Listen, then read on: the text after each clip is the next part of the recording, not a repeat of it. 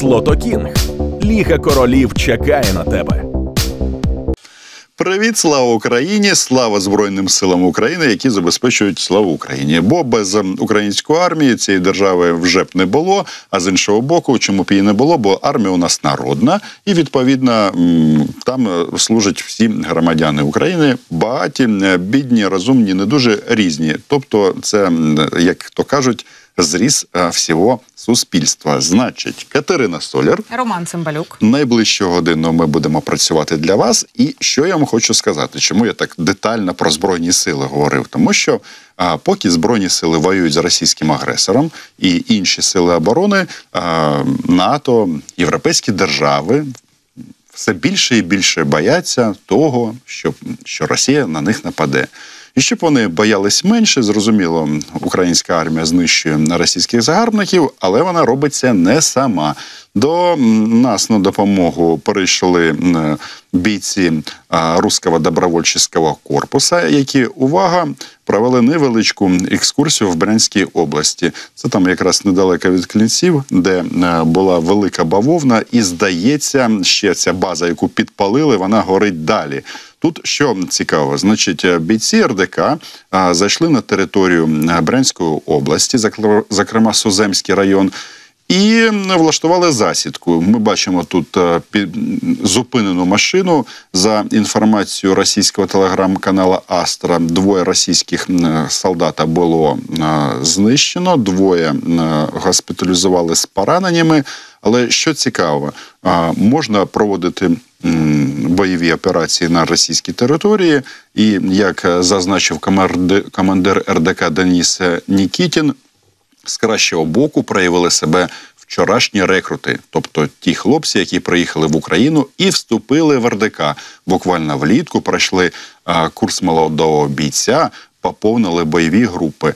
Мені здається, це непоганий приклад до інших росіян, тому що те, що відбувається безпосередньо на, на території Росії, особливо по відношенню до корінних народів, якраз говорить про те, що їм для збереження своїх етносів і свого життя краще все ж таки виступати на боці України в цій війні. Мені так подобається о- оця цитата, читаю мовою оригіналу. «Пополнили боевые группы и под руководством уже опытных бойцов и командиров РДК, а не французских кураторов, сделали свои первые и уверенные шаги на пути воїна. Е, Первые і уверенные шаги звучить дуже красиво. А ти м, Кать, знаєш, звідки ця історія з французькими кураторами? Тому що е, е, тут нещодавно е, в МЗС Росії навіть викликали посла Франції, тому що, начебто, е, кудись прилетіла російська бомба і вбила 100-500 французьких найманців, кураторів, солдат НАТО і так далі. І це було Мені здається, вони в Харків Плазі знаходилися, напевно. я знаю багатьох людей, які не мають жодного відношення до будь-яких збройних сил, не тільки України, які е, там зупинялися. Зокрема, там е, багато було іноземних журналістів. Ця історія така була просто цікава, що вони, е, як заявили росіяни, е, по- по- попали по групі французів і викликали з цього приводу е, посла. Насправді, якщо б тут воювали французи, це посла Росії в Парижі мали б були, мали б були викликати, але його чогось ніхто не викликав. Ну, дивна історія, але давайте поговоримо про ці. М, Протестні рухи на території Росії, бо РДК це частина цього глобального процесу. Е, ну дивись, дивна історія могла би бути, якщо би на території Росії була би логіка. Але оскільки вона свою каденцію на цій території завершила давним-давно, то відповідно нічого дивного на території Росії не відбувається. Е, ну і власне про протестні рухи. Слухайте, прямо цей тиждень якийсь е, дуже активний, е, ну принаймні для протестних рухів. Зокрема, ми бачили в Башкортостані та перші протестні рухи цього тижня, які виникали. Ну а тепер ми бачимо їх вже в Уфі. Зокрема, на площі Салавата Юлаєва в Уфі, де було анонсовано акцію на підтримку Фаїлі Алсинова, почали збиратися люди. Люд почав стягуватися на площу, туди ж відповідно стягнули і Росгвардію Самоном. Ну тому що там, де люди, там і Росгвардія Самоном. А, люди е, скаржилися на проблеми також з мобільним зв'язком і інтернетом. Ми бачили, коли були протести в Башкортостані, то там а, також позакривали всі телеграм-канали, які писали про ті самі протести. Ну а тепер тут раптом е, сота Віжон вирішило, що інтернет і мобільний зв'язок людям взагалі там не потрібен на тій самій площі. А, в ітогі ми бачимо, що на площі зібралося близько тисячі людей. Е, люди просто ходили, вони нікого не чіпали, вони ні про що не питали. Вони мені здається навіть не говорили між собою, просто ходили на цій самій площі. Ну а на запитання силовиків, що вони там роблять, кажуть: ми нічого не вирішуємо, просто гуляємо. Просто вийшли погуляти. Силовики почали затримувати. Зокрема, затримали або ж намагалися затримати активістку з написом на спині Чорний люд. Люди довкола намагалися її відбити. Ту дівчинку. Не знаю, що там у них вийшло, не вийшло. І причому знову ж таки пояснюють, типу, ну в тебе ж поліція написана на спині. Ну чому в мене не може написано бути на спині інше слово? Ну все нормально. Нічого тут е, в принципі е, такого удивительного на їх погляд немає. Ну і власне в Уфі знову ж таки не однією тією сотою, а ще і Білайн відключив зв'язок заодно. Ну кажуть, е, що ж. Відключать так відключать. Знаєте, е, мобільний інтернет під час протестів також лагав по повній програмі. Збої в роботі мереж е, повідомляли також і жителі Самари, Казані, Саратова, Тальяті. Ну і місцеві так звані змі писали, що в Уфі силовикам вдалося зачистити площу, де проходив мітинг. Але Ну, Але. зачистити, то зачистити, ми ж розуміємо. Тим не менше, коли я розказувала е, на початку тижня про Башкортостан, мені говорили про те, що протест мало підготовлений, погано підготовлений, не підготовлений взагалі, тому що кидали в силовиків вони просто льодом, який знаходили отак, от у себе під ногами. Бруківка ефективніша. Бруківка була би дуже ефективна. Е, Коктейлі Молотова можемо скинути рецепт, якщо раптом ви не знаєте. Е, Шини також можна підтягнути, якщо би раптом. Так от, ними зазвичай намагаються заховати літаки на аеродромах. Там їх шукайте, вони там є, ті шини. Просто кілька е, порад дала. Е, не обов'язково до них дослухатися, але бажано би дослухатися. Е, тим не менше, ми бачили перші протести. Кінець тижня знову з протестами. Нам то говорить про те, що оказується можуть, коли хочуть. Знаєш, можуть, коли хочуть, але все ж таки росіянам треба відходити від цих е, снігових куляк і так далі. і так далі. Навіть е, шини це теж не варіант. Треба брати наприклад е, з руського добровольчого корпусу, тому що якщо вони не захистять себе, закінчиться все тим, що їх всіх відправлять на війну проти України. І е, мені здається, що е, руський добровольчий корпус вони зробили найправильніший, найшвидший висновок, е, як боротися за російським фашистським режимом.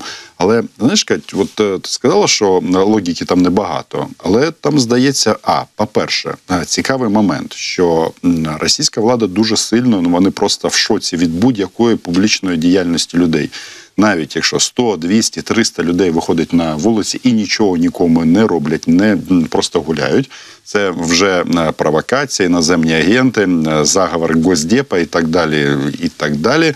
Про що це говорить? Я роблю висновок такий, що вони розуміють незадоволення російського е, населення, і їх задача цих людей, які живуть на території поки що окупованої Башкірії, точніше Башкортостану, далі тримати під плінтусом. Бо навіть акції з приводу того, що ми за те, щоб нам включили опалення в будинках, вони сприймаються як такі, які загрожують суверенітету, незалежності Російської Федерації. Їм відмовляють. Але коли я кажу про логіку, то взагалі-то звідки це ці всі страхи? Зміна законодавства і так далі. Це все після вторгнення повномасштабного в Україну. Вони колосально змінили законодавство. І тут один депутат Держдуми, мільйонер, який заробив е, багато грошей на вирішенні українського питання, каже, що взагалі-то від е, війни проти України е, втрачає Російська Федерація. І як на мене, це як було модно в 19-му році у нас сказати, це приговор політиці Володимира Путіна. Это вопрос, на который мы должны дать себе ответ. В состоянии ли мы сделать так, чтобы Украина в результате этой специальной военной операции, в результате нашего отношения к украинцам как к народу, части нашего русского народа, чтобы мы смогли найти общий язык не в ближайшей, там, сегодняшней, завтрашней перспективе, но в, в общем стратегическом плане на видимую историческую перспективу. Если мы по своим причинам, они по своим причинам, а мы по своим причинам, и в состоянии это будем, будем сделать, значит, мы будем разыгрываться третьими странами, Западом, Соединенными Штатами. И будем все время поставщиками новостей о том, что происходит в этом славянском мире. Як тобі, Катя, пропозиція знайти спільно з росіянами мову? Мені здається, взагалі На це 695-й день повномасштабного вторгнення? Ну чому б ні? Е, Насправді це можливо. Давайте скажемо прямо. Тут важливо, які висновки зроблять наші е, потенційні друзі з Башкортостану, але спільну мову знайти насправді е, можна. Значить, як це буде виглядати? Спільна мова з росіянами. Не треба на мене так осудливо дивитися, Катя. А, Ні, то я буду, Ром. Тому Давай. що це можливо. Значить, е, спільна мова з росіянами біль- більш- більш-менш нормальна, можливо, навіть е, без перекладача. Вони до того часу підтягнуть українську. Виглядатиме так. Значить, Як ми е, бачимо, мову українську можна вивчити. Рома Дякую може тобі, Катя. Я, спри- я сприймаю це як е, комплімент. Ну, серед е, росіян, в принципі, у мене був би непоганий викладач. У мене була б це така, такий патичок великий і товстий, щоб краще заходило. Але я все ж таки думку закінчу з приводу спільної мови, щоб нас не розігрували інші держави. Е, Цікаво, да? От е, вони завжди казали, що Україна не суб'єктна, що у нас тут е, зовнішнє керування і службою безпеки України керують, я не знаю, там натівські генерали. А зараз він каже про те, що треба знайти спільну мову. Так ось спільна мова вона шукається. Дуже просто. Це вивід російського військового окупаційного корпусу з території України. Ми фіксуємо дату. Ну, наприклад, я не знаю, 26 вересня цього року. Чому 26 вересня? А чому б ні? От я народився, це вже непоганий привід. Але я б навіть за те, щоб не чекати так довго, можливо, це почати прямо завтра. Значить, росіяни виводять війська з території України, і далі ми беремо календар і відмічаємо цю дату. Далі два покоління проходять, і насправді, можливо, якась спільна мова з ними буде. А наразі, звичайно, це ненависть, а лють по відношенню до російського загарбника. В цілому тут же цікаво, бачите, він же про що говорить? Що ем, повномасштабним вторгненням користуються інші держави. Він там сказав про захід, про американців і так далі. Ну насправді ми дивимося на, на наших американських партнерів, які настільки тут зайняті власною вибор, виборчою кампанією, що сильно тут і не сильно то вже і залучені в ці процеси. Що ж він не сказав про Китайську Народну Республіку? Сенс слів, які ми почули про спільну мову, полягає в тому, що Росія втрачає. І цей пан, який нам зовсім не пан, Константин Затулін, ця людина взагалі-то вона має бути покарана російським трибуналом в першу чергу. Чому? Тому що це такий так званий от, е, професійний патріот, який ще з 91-х років починав ці кампанії про те, що треба купувати Крим, Севастополь і так далі. і так далі. А Саме такі люди, як Затулін, посіяли оце зерно в російському суспільстві. Воно проросло і що? Зараз нацистська держава. І ось ця людина, яка кликала війну, тому що якщо ти хочеш відібрати, окупувати частину території сусіда, це називається кликати війну. Вона зараз каже, що ця війна не дуже то в інтересах Російської Федерації. Мені здається, що ми це маємо зафіксувати. Ну, Затулін е, він хоч і заробив мільйон не один на українському питанні, але здається, зрозумів це найпершим. А, знаєш, я сумніваюся, що у нас вийде знайти мову, тому що дивись, ми шукаємо спільну мову, а вони шукають спільний язик. Е, І, і тут можуть виникнути певні питання. Ну, принаймні, поки вони не вивчать мову, нам буде важко е, порозумітися. У мене е, є одне уточнення. Е, Є така, ну, це, я би навіть сказав, аксіома.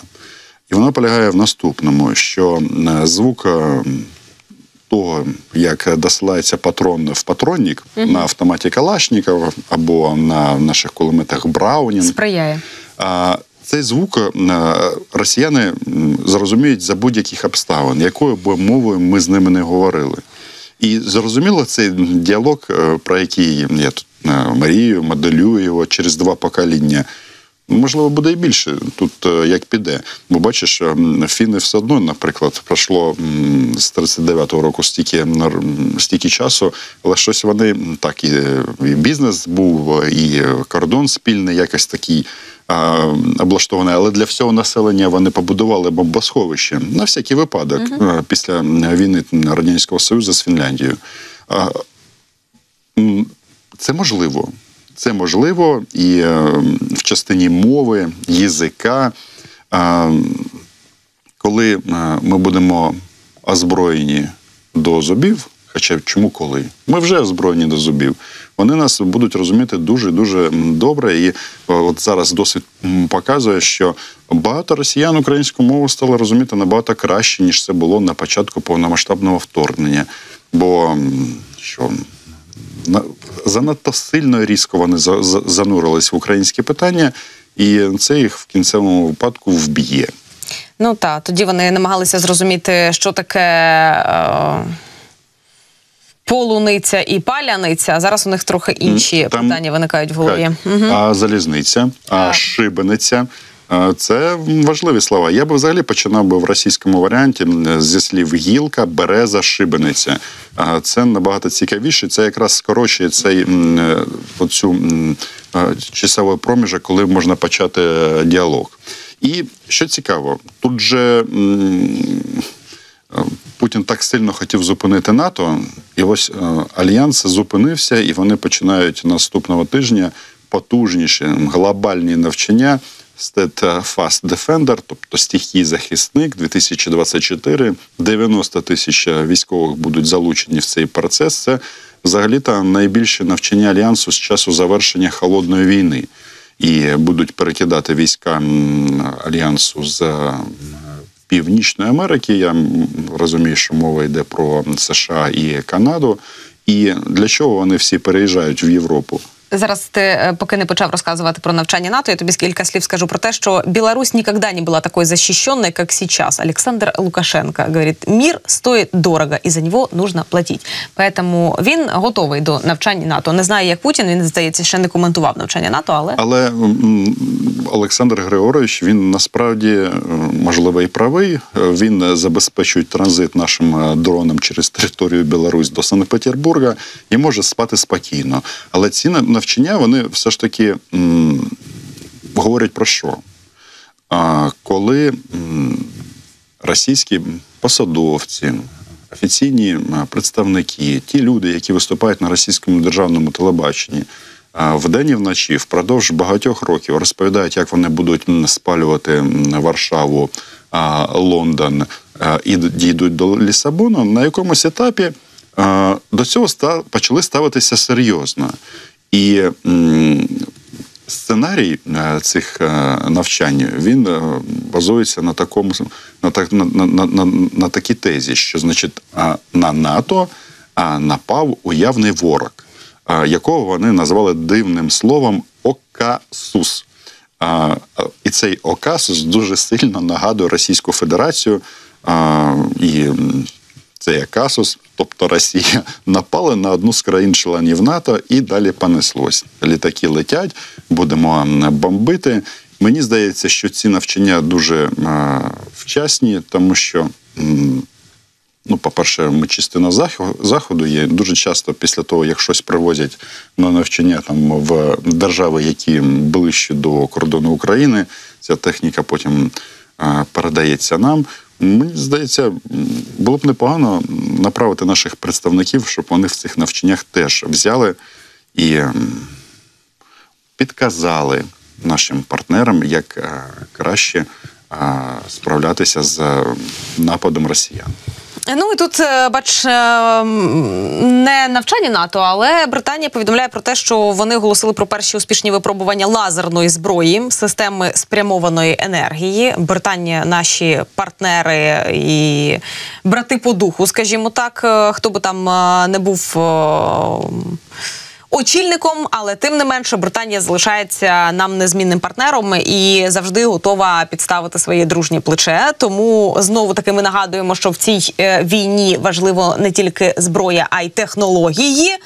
Ну, раптом би що, то було би теж непогано. Випробували її на полігоні в Шотландії. Дальність системи засекречена. Що теж доволі приємна історія.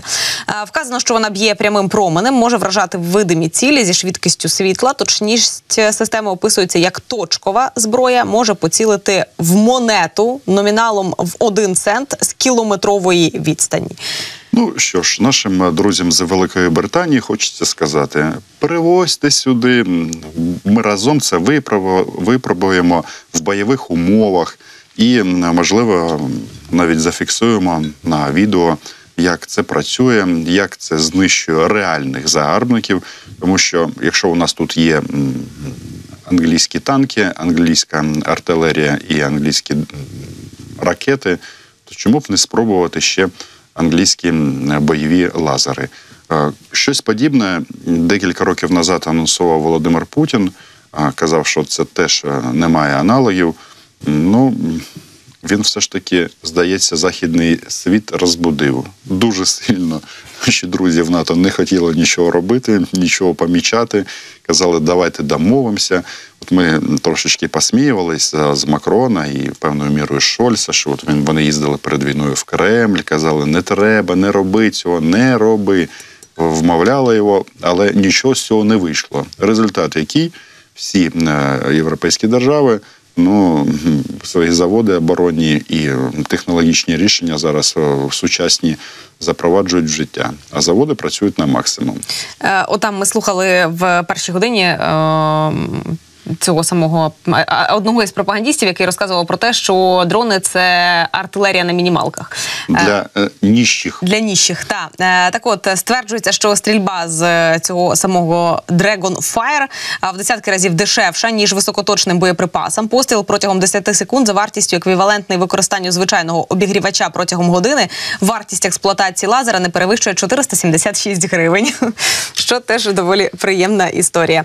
Е, тому на мінімалках готові працювати далі, якщо би раптом. Е, долучаємо до нашого ефіра політолога Ігор Рейтерович з нами на зв'язку. Пане Ігорю, вітаємо вас і слава Україні. Героям слава, доброго дня. Ігоре, як ви ставитесь до заяв наших західних друзів про те, що от ще трошечки 4, 5, 6, 7, 8 а, років і Росія на них нападе? Для чого вони почали ці речі зараз так активно проговорювати? Які у вас е, думки? Я думаю, що е, це об'єктивна реальність. Справа в тому, що в них працюють цілі е, аналітичні центри, в них працює розвідка, в них працюють е, ну військові різні аналітики, які розробляють сценарії, і вони дивляться аналітичні аналізують те, що відбувається на Росії, і приходять до такого висновку. Насправді, в подібних сценаріях, ну тут питання тільки в роках. Да, дехто каже там про кілька років. Е, Найменший термін, який я е, зустрічав, це було десь приблизно три роки, два з половиною три роки. І вони розуміють, що якщо режим Путіна зберігається при владі, режим Путіна не отримує е, ну такої, знаєте, серйозної поразки в Україні, що відкидає його взагалі від будь-якого бажання з кимось воювати. Ну наступною стадією його розвитку об'єктивно є якийсь конфлікт безпосередньо е, з країнами НАТО. Які знаходяться в Європейському Союзі, оскільки е, всі ці аналітики, і це і треба їм віддати належне, вони ж крім чисто військових аспектів там чи соціально-економічних аспектів, вони аналізують політичні аспекти, і вони бачать, що в найближчі там 3-5 років світ може зіткнутися з суттєвими викликами саме демократичним е, країнам, е, і демократії, як такі, будуть піддаватися ну дуже серйозним внутрішнім і зовнішнім впливам. Це такий прекрасний час, е, по іншому не скажеш для е, авторитетів авторитарних режимах режимів скористатися ситуацією для того, щоб вирішити якісь свої внутрішні проблеми, ну розпочати якийсь конфлікт безпосередньо з демократіями, щоб потім спробувати домовитися десь посередині. Ну це умовно кажучи, це ну знаєте, те бачення, яке є у Путіна, тому що він там живе, скажімо, в координатах завершення Другої світової війни Ялтинсько-Потсдамської цієї системи, яка передбачає наявність певних сфер впливу, і от він вважає, що Росія повинна таку сферу впливу мати. Проблема в тому, що вже зараз е, Путін і його найближче оточення вважає, що в цю сферу потрапляють впливу. В цю сферу впливу потрапляють країни, які вже є членами Європейського союзу і альянсу.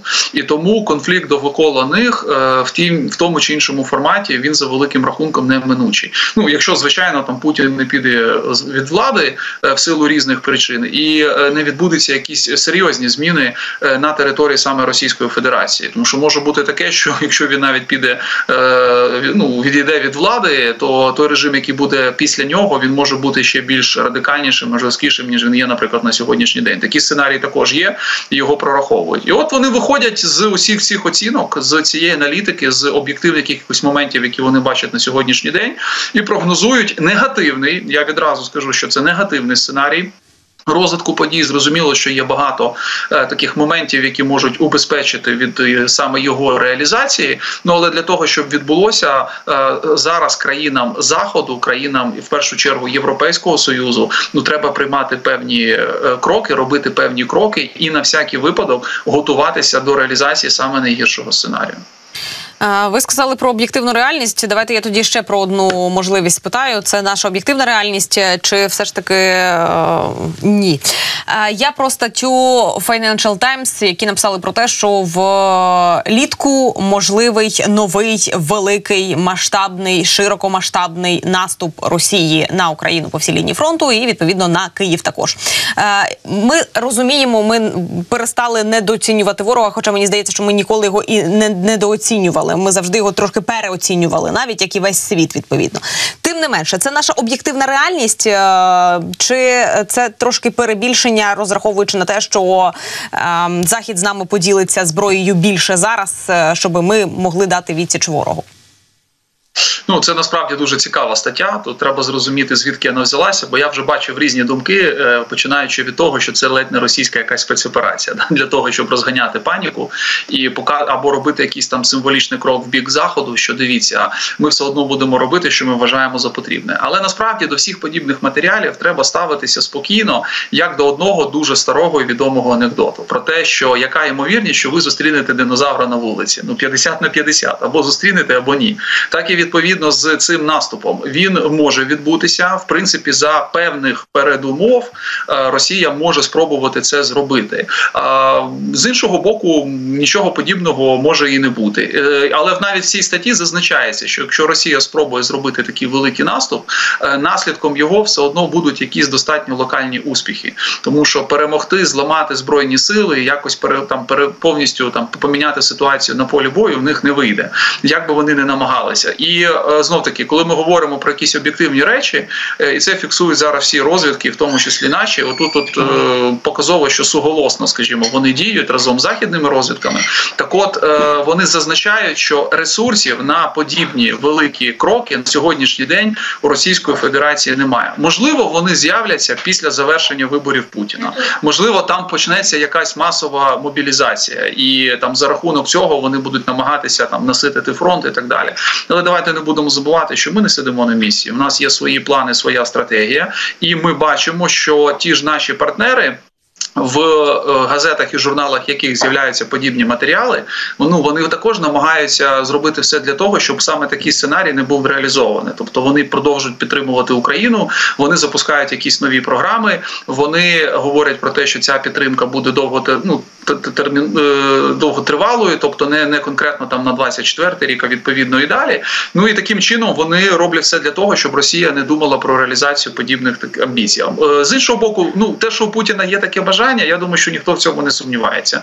Він хоче завоювати як мінімум там половину України, захопити всі там ключові міста. Київ зрозуміло, тому що для нього це ну в його розумінні, мабуть, якесь там сакральне місце. В нього просто викривлено абсолютно все в голові, але ну тим не менше він дуже хоче нашу столицю. Але ну питання бажань е, це одна історія, а питання реальних можливостей це історія трошки інша. З іншого боку, навіть такі статті можна використовувати собі на користь. Я про нас зараз скажу. В якому сенсі? Що дивіться, є висока небезпека. Відповідно, треба більше підтримки, треба більше зброї. Треба все робити для того, щоб це не відбулося. І це такий сигнал, в тому числі і в бік наших партнерів. До речі, використати собі на користь і е, от е, про те, щоб запастися зброєю вже зараз. Е, CNN пише наступне джерело, що війна в Україні може тривати ще два роки. Дехто вважає, що п'ять років. І CNN це пише з посиланням на американських чиновників. Тому у США хочуть направити Україні якнайбільше допомоги до січня 25-го року, оскільки там побоюються переобрання Трампа, який може скоротити підтримку. До січня 25-го року це, звісно, прекрасно, от але би хотілося трошечки раніше. Ну, нам би хотілося, щоб завтра. Ми ж все це розуміємо. Вчора. Але знов таки є моменти. Скажу. Але знаєте, ну є такі моменти, які на превеликий жаль від нас не залежать, тому що ну як би ми не дивилися на на ту ситуацію, яка складається на полі бою, ну треба розуміти, які ресурси є у України, які ресурси є у Російської Федерації. Да, вони готові там жертвувати ну в принципі будь-якою кількістю людей для того, щоб тримати цю ситуацію, ну так як вони її тримають зараз, а можливо навіть робити певні якісь там проводити там певні наступальні дії. А щодо того, що війна може два роки, може більше років, ну знов таки таки, це для нас певний сигнал. В якому сенсі? Ну, по-перше, війна може бути різної інтенсивності, можуть бути якісь активні наступальні дії або активна оборона, а може бути ну таке певне, знаєте, певна стабільна ситуація на фронті, коли фронт особливо не рухається, а війна ведеться за допомогою безпілотників, ракетних там ударів і так далі. От в такому форматі вона може тривати звичайно і кілька років. Але головне наше завдання яке? Щоб ми використали ну як мінімум 24 рік, ну навіть без прив'язки до виборів в Сполучених Штатах і можливо можливої перемоги Трампа. Е, ну я вже мовчу про те, ну це тема окремої розмови. Що далеко не факт, що навіть за умови, що Трамп переможе на виборах, е, ну ні, взагалі немає гарантії, що він займе, наприклад, якусь там проросійську позицію або відмовиться від підтримки України. Ну це дуже специфічна така особистість, і це треба також враховувати. Можуть бути різні варіанти. Насправді так, от нас головне завдання цей рік використати максимально для того, щоб. Е, ну посилити свої позиції, отримати дійсно максимум від країн-партнерів, е, укласти нові договори. Ну, наприклад, ну на прикладі того, що ми зробили з Великою Британією, з великою кількістю інших країн, е, отримувати цю підтримку і в наступні роки, військово-технічну, в тому числі. Ну і не забувати про головне, що ми повинні все ж таки приділяти увагу дуже серйозно. Це повинно бути взагалі центральною, мабуть, центральним пунктом, мабуть, нашої стратегії розвитку власної економіки, розвитку власного військово-промислового комплексу. Е, на всякий випадок воно зайвим точно не буде. А з іншого боку, ми зможемо себе впевнено почувати, якщо і відбудуться якісь ну там серйозні зміни в геополітичному такому форматі, і та підтримка, яку ми маємо зараз, е, вона не те, що зникне, вона повністю ніколи не зникне. Це треба розуміти. Але вона, наприклад, за деякими напрямами може бути скорочена. Але ми, якщо будемо до цього готові, будемо мати альтернативу. Ну Росія ж нічого від цього не виграє, і е, давайте не будемо забувати, що вони знаходяться навіть в гіршому становищі ніж ми тому що е, санкції ніхто не відміняє. Санкції діють, вони діють звичайно не так швидко, як нам би хотілося, але в принципі це було зрозуміло від самого початку. І ситуація в Росії ні в економічному, ні в соціальному, ні в якомусь іншому плані вона не покращується. А якщо ми будемо отримувати все більше і більше високоточної зброї, а це може стати стратегічним напрямом також для нас на 24 рік, і багато наших партнерів це розуміють. Ну Росія взагалі опиниться в ситуації тотальної такої небезпеки безпеки для будь-яких своїх об'єктів, і це зрозуміло також буде впливати на ті рішення, які буде приймати російське керівництво, але не в позитивному для них плані. Ігор, давайте от про ресурси для війни. І зрозуміло, нам треба отримати ресурси від Сполучених Штатів. Ця дискусія в них триває. і Вона от зараз така досить цікава. Тут є декілька цитат. Тут, е, зокрема, Дональд Трамп, зрозуміло, до якого все більше прислуховуються виступив проти компромісної угоди з Білим домом. Ну він взагалі-то робить акцент саме на кордоні, але з цим кордоном пов'язаний пакет і гроші для України. І він каже, що я не сумніваюся, що наш спікер Палати представників, наш Джонсон, укладе тільки таку угоду, яка буде ідеальною для кордону.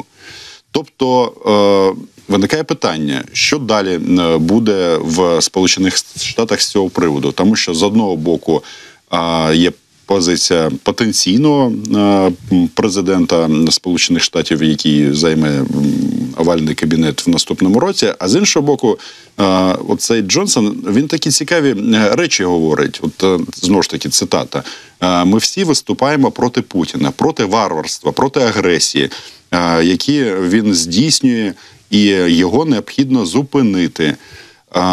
Те, що відбувається зараз в Україні, це статус-кво е, зберегти неможливо. Це неприпустимо, каже Джонсон. Тобто, питання, на вашу думку, так куди ж схиляються е, шальки цих терезів? Е, Розвести питання кордону і військової допомоги, чи вони тут будуть торгуватись один з одним ще багато-багато місяців? Е, Вони будуть торгуватися, але не місяці. Я думаю, що в найближчий час ця угода буде винесена на розгляд. І е, ну, ця заява Трампа, давайте все ж таки розуміти, що він поки навіть не є офіційним представником республіканської партії. Праймери тільки почалися. Вони були тільки в одному штаті. До супервівторка ще достатньо багато часу, тобто ну десь до середини березня, коли це відбудеться. І відповідно рішення, скоріш за все, по кордону і взагалі по допомозі України буде прийнято раніше. А коли він сказав про ідеальну угоду для кордону, він е, ну, мабуть думав, що він таким чином прив'язує більше Джонсона, але з іншого боку, він йому десь розв'язує руки. Тому що якщо адміністрація Білого Дому піде на серйозні поступки, а наразі є така інформація, що вони це вже ну зробили під час перемови, навіть не збираються, а вони вже е, сказали на що вони готові піти, і ця позиція влаштовує переважно більшість республіканців. Джонсон без проблем може вийти і сказати: ми уклали ідеальну угоду щодо кордону. Ми отримали все те, що ми хотіли. Ми всього домоглися, і ми ще і Путіна по носу, так знаєте, е, вдаримо, е, допомагаючи відповідно Україні. І е, ніхто проти ну цієї цієї, скажімо, історії в середовищі республіканців виступати не буде. Тому я з обережним оптимізмом насправді на це дивлюся. Бо ну судячи з останніх заяв, значна частина республіканців, причому як тих, які і підтримують Трампа, і не підтримують Трампа, вони вважають, що республіканська партія також повинна використати фактор України або питання України, питання російсько-української війни в своїй передвиборчій кампанії і використати звичайно собі на користь. А зробити це можна лише підтримуючи Україну, тому що ну дивимося результати останніх опитувань, які були в Штатах, буквально там ну біля місяця назад. 65% американців виступають за продовження допомоги. Вони вважають, що Путін абсолютно там не правий і так далі. Дві третини е, ну електорату е, демократів, республіканців зрозуміло, що там є свої, скажімо, відмінності і так далі. Але переважна більшість виступає за і республіканці цей фактор не можуть не враховувати. Ну вони ж прекрасно розуміють, що якщо повністю буде заблокована будь-яка допомога, той же Байден зможе ну почати е, спекулювати на цьому питанні і казати, що дивіться, ви принизили Америку, ви е, вдарили по іміджу Америки. І представляєте, як це буде дисонувати? Ну гіпотетично, якщо Трамп стає, ми поки цього не знаємо. Дійсно, там номінантом від республіканської е, партії зі своїми зробимо Америку знову великою. В нього тепер буде тільки два. Да? Там він додасть. Е, як це буде бити по е, цьому гаслу? Тому в цьому контексті республіканці все більше схиляються до того, що нам треба ну витиснити максимум з Білого Дому. Наразі вони практично вже це отримали. І потім, коли буде ця угода укладена, і Україна отримує кошти, республіканці також будуть казати, що це наша заслуга. Ми це зробили, ми допомогли, і вони будуть це використовувати під час своєї передвиборчої кампанії. Ну не зможуть ніяк вони і кандидати від них обійти питання України. Про це треба буде говорити. І ну Трамп зараз зайняв дуже просту позицію. Я добре знаю Путіна, добре знаю Зеленського. Ми там вирішимо всі питання за е, ну, там одну годину, наприклад, чи за 24 години. Це звичайно ну абсолютно інфантильна популістична позиція, але вона частині електорату заходить. Але реальні республіканці, які працюють в тому числі в конгресі, в сенаті, вони розуміють, що ситуація та набагато складніша, і їм треба зараз ну максимально плюси з цієї ситуації викрутити. І тому поступки по кордону автоматично розблокують е, допомогу Україні. Я ну все ж таки тут більше оптимістом, мабуть, залишаюся. Е, Десь до середини лютого місяця вони можуть це питання вирішити. Допомогу Україна може отримати. Цікаві часи нас е, чекають. Пане Ігорю, дякуємо вам за коментарі, за прогнози. До лютого, звісно, будемо спостерігати, але е, думаю і сподіваюся, що побачимось ми в ефірах е, трошечки швидше ніж у лютому. Дякую. До наступних зустрічей. Політолог Ігор Ітерович був е, з нами на зв'язку цієї години. Знаєте, ми традиційно розпочинаємо з того, що говоримо слава Україні, слава українським героям. Завершуємо цими ж словами. Але до цих слів бажано ще додавати донат, про який ми вам сьогодні на початку програми забули нагадати. Е, Давайте так е, неочікувано вирішили нагадати про нього в кінці. Зокрема, давайте подивимося на ті активні збори, які зараз є на сайті фонду 24 каналу. І там, зокрема, зараз збираємо на зарядні станції для 53-ї бригади. Ви неймовірні молодці. Ви котики. 62% ми з вами вже перекрили цієї необхідної суми. 350 тисяч збираємо. Треба ще трошечки докластися для того, щоб ем, от п'ятницю завершити, знаєте, зафіналити таки красиво, закрити цей збір. А значить, сказати нашим захисникам, що у них е, вже найближчим часом будуть ті зарядні станції, на які вони розраховують. Зарядні станції, як ви розумієте, це відразу заряджені телефони. А значить, вони можуть подзвонити своїм рідним, близьким, знайомим і сказати, що з ними все добре. Це заряджені старлінки, це заряджені е, батареї е, для безпілотників, це заряджені павербанки. Це е, відповідно зв'язок наших захисників. Вони їм дуже необхідні. А ми з вами точно можемо до того доєднатися. Що відповідно закликаю вас робити. Ви бачите QR-код на вашому екрані і. Я знаю, що ви то хотіли зробити. Просто вам про то нагадала, щоб ви не забули. Ну і звісно, нагадую вам про те, що слава Україні Героям слава і смерть тим клятим ворогам. всім. Побачимося з вами. Бережіть себе і па-па.